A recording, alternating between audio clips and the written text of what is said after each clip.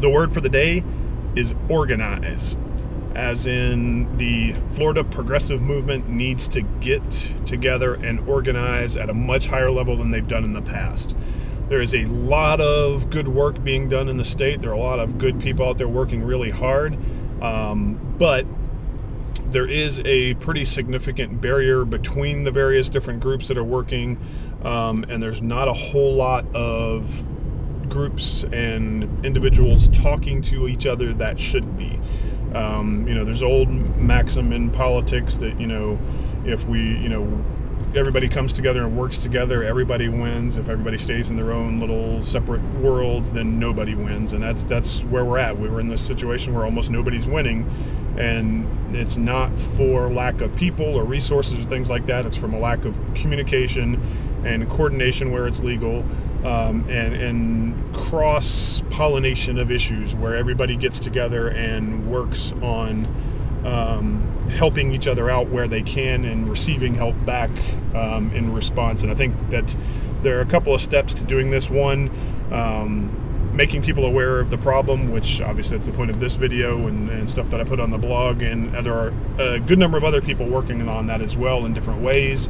Um, Progress Florida um, is one of the leaders in that. There, there are a number of people working on Facebook and other places as well, and some new groups coming along that will be working on that as well. Um, at the same time, you'll have to gather basic information. And I've mentioned before about the FPC Wiki on FLAprogressives.org. Click on the Wiki tab at the top. Um, but the, the online spot for all the information that you need in terms of what's going on in politics in Florida.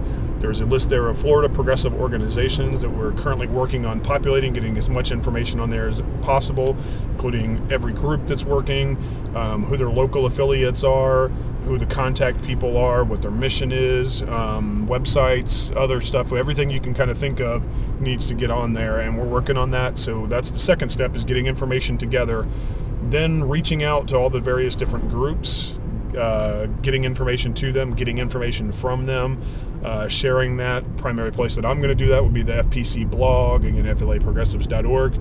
So if there's information that you think that more progressive Floridians should be seeing, make sure to go to FLAprogressives.org, get that information to me via email or whatever else, and also go there to see what other people are, are turning in, and that way um, we can start to get everybody uh, more coordinated, connected, and and ready to change Florida.